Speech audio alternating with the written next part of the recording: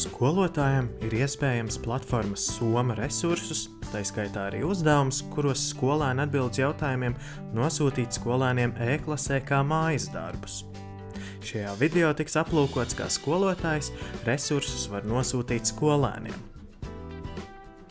Lai skolotājs varētu nosūtīt mācību platformas Soma resursu skolēniem, nepieciešams platformā pieslēgties ar savu e-klases pasi.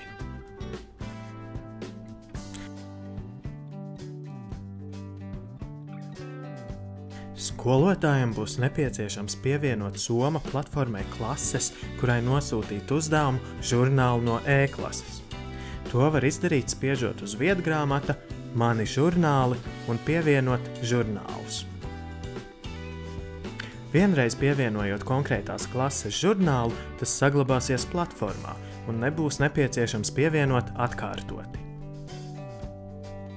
Skolotājam, atverot konkrētu mācību resursu, piemēram, e-grāmatu, loga augšpusē parādīsies iespēja uzdot e-klase.lv, uz kuras noklikšķinot atvērsies loks, kurā izvēlēties klasi, kurai nosūtīt resursu, norādīt to, vai resurss ir klases vai mājas darbs, un izvēlēties datumu, uz kuru darbs ir veicams.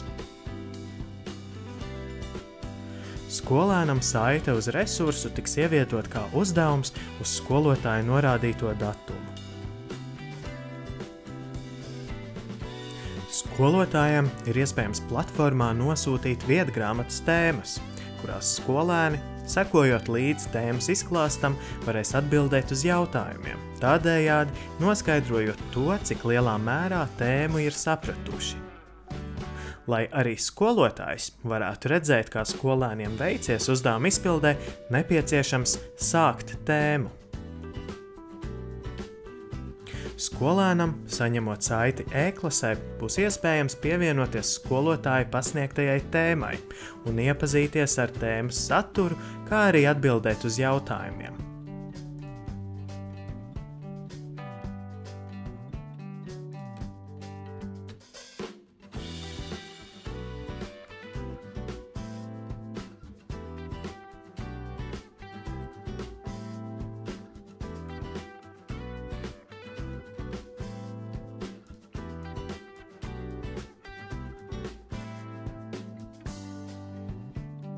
Skolotājs varēs aplūkot skolēnu rezultātus un jebkurā brīdī pārtraukt skolēnu atbildēšanu uz jautājumiem un tēmas pasniegšanu.